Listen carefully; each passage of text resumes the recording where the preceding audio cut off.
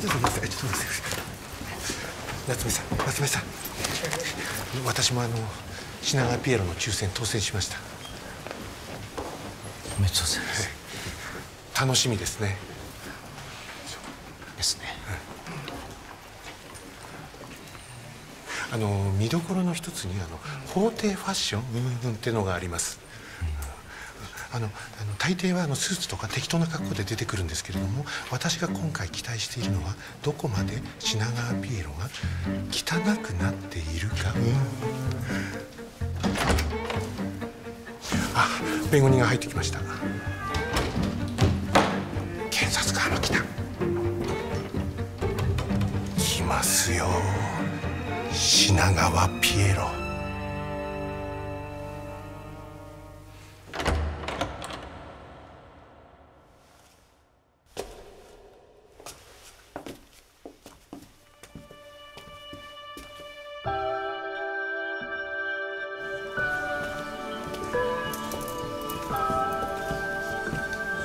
かわい。い